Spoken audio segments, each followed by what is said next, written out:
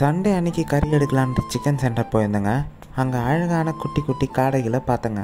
அந்த காடைங்கள் இன்னைக்கு உயிர் போக போகுதுன்னு அதுங்களுக்கு தெரியாதுங்க.